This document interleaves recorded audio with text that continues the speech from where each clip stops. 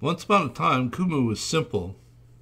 Then the users asked for and got a thousand options, which made it very complicated.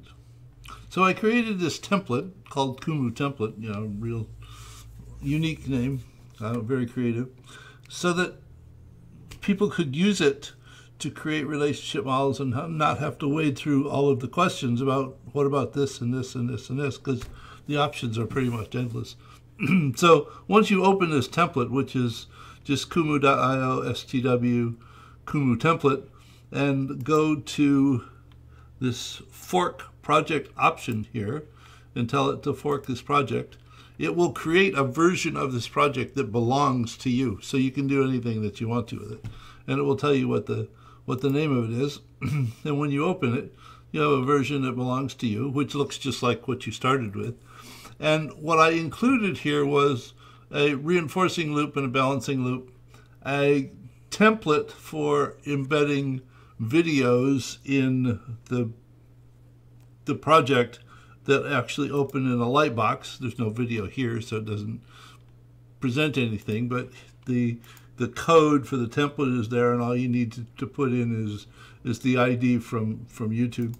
Um, then there's also um, an extensive definition or set of guidelines about basic relationships that's in and it's all connected. And this is a link to it which will take you there.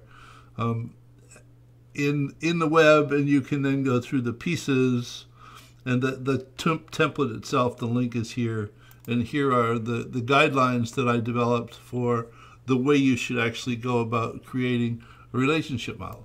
Now back to the template itself I also included, if you don't have a Kumu account, you can sign up for one for free with this link.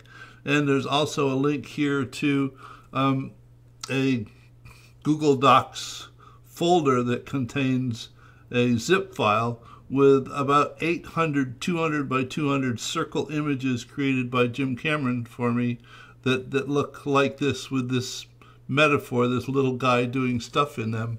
Uh, people have found them interesting, useful, and with 800 of them, it covers about anything you might want to uh, depict in a relationship model. So that's what's here to begin with. In terms of using this, you can simply hold the shift key and when you're ready you can select all of the stuff and hit the delete key and get rid of it all and you then start from a, a blank screen. In terms of if you change something on the screen, notice that that a little um, reverse loop will show up down here, which is an undo loop. So you can undo changes that you've made to the model. And in terms of actually creating things in this structure, it's actually quite simple. The, the, when you delete everything else and you have a blank screen, you first thing you want to add is an element, and you simply click the plus sign and say add element, and you can say um, full.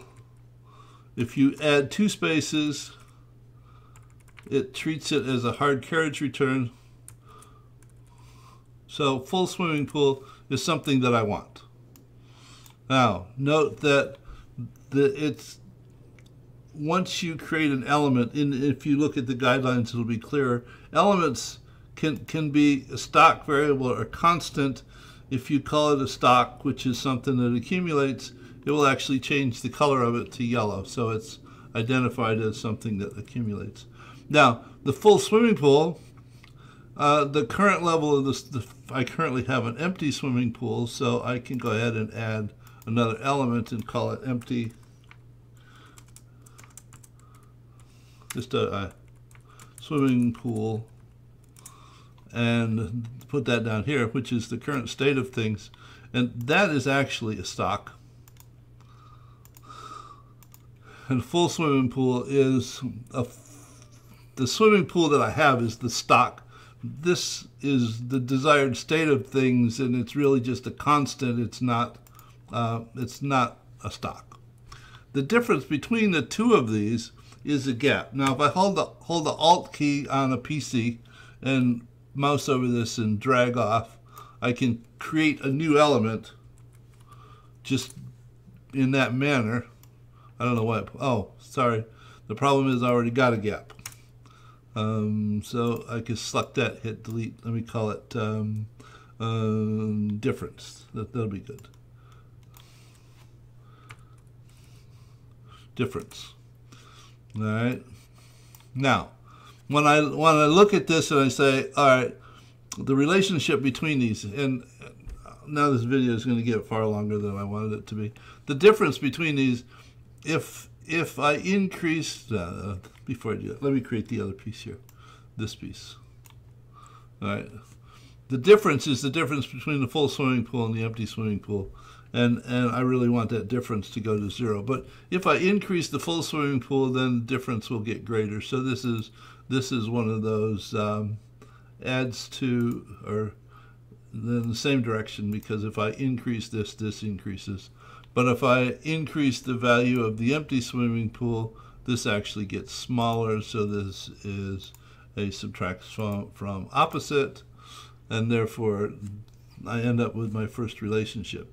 That difference actually governs the the the extent to which I make the the hose valve open to cause the water to flow. So this this relationship is in also in the same direction, and the hose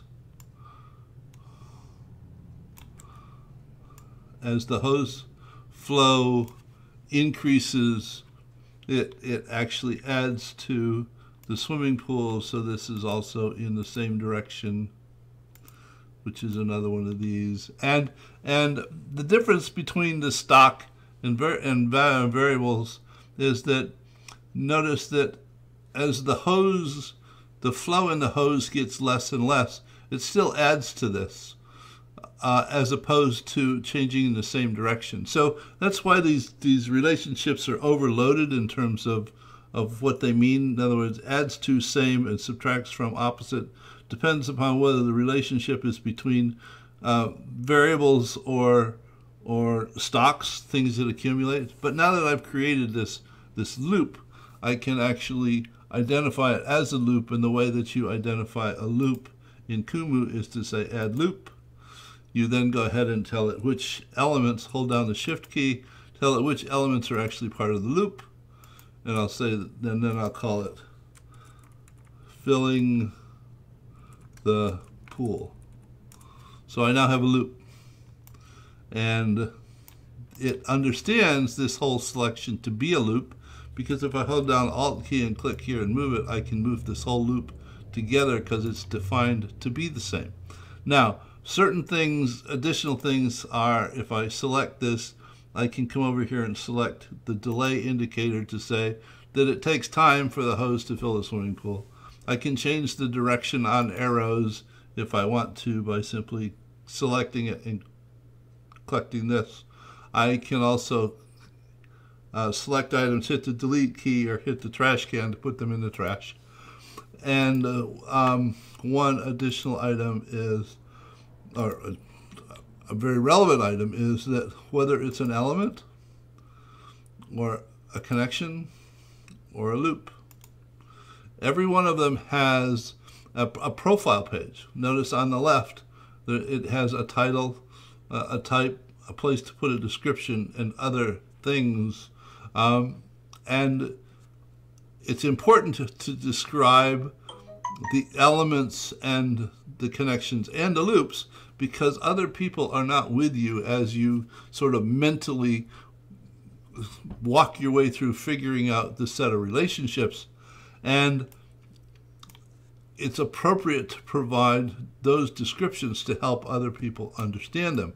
And there are things about about labeling them that are important and doing it in an order so other people know what order to read the loops.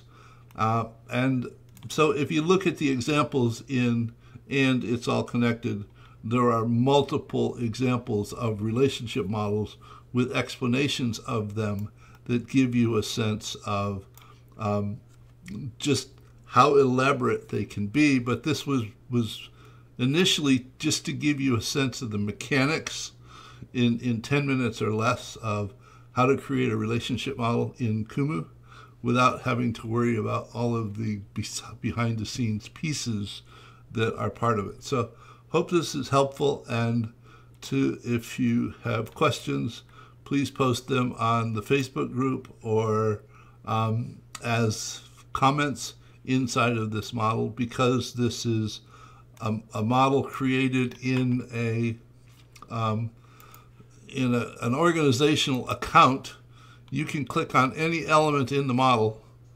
and tell it that you want to go ahead and create a comment about it so that if I clicked here and then went over here to comment, that would actually create a discussion about that particular element, which is which is one of the, the really nice features of the organizational account aspect. So um, hope this is helpful and we'll continue the development of understanding as time goes on. Take care. Bye.